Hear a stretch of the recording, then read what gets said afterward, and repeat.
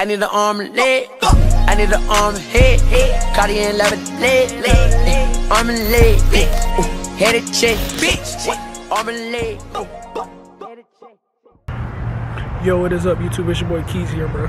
Today, I will be doing a hundred dollar challenge. So basically, I'm gonna let my mom pick out my clothes, pick out whatever she want. Have no say so in it. So pretty much, she's gonna go in any store she want and try to pick out a whole outfit for under hundred dollars. We're gonna see if she know what drip is.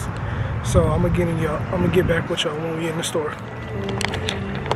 All right, y'all. So basically, we just got a shirt from there. So now she's about to pick the next place.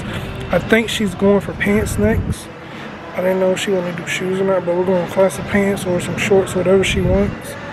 So yeah, um, if I can't record, that means they got copyrighted music playing, just like they do out here. So I'm gonna just let that loose right now. So yeah.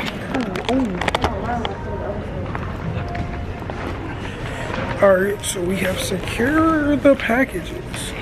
Now, I think we're about to go get something to eat, bro. I have not been able to record. Like, right now, you probably hear music. You might not even get to see this clip because I'm not trying to get copyrighted.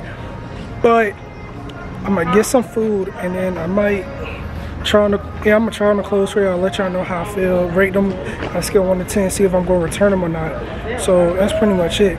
So, I'm to get back at y'all once I make it to the restaurant.